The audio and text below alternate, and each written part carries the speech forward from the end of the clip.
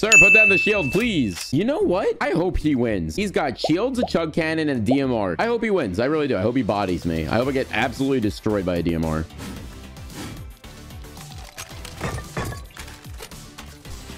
Yes! Yay, I was a friend! How many crown wins do they have? What? No, take it. First crown one. Come on, buddy. What gun do I take? Beautiful.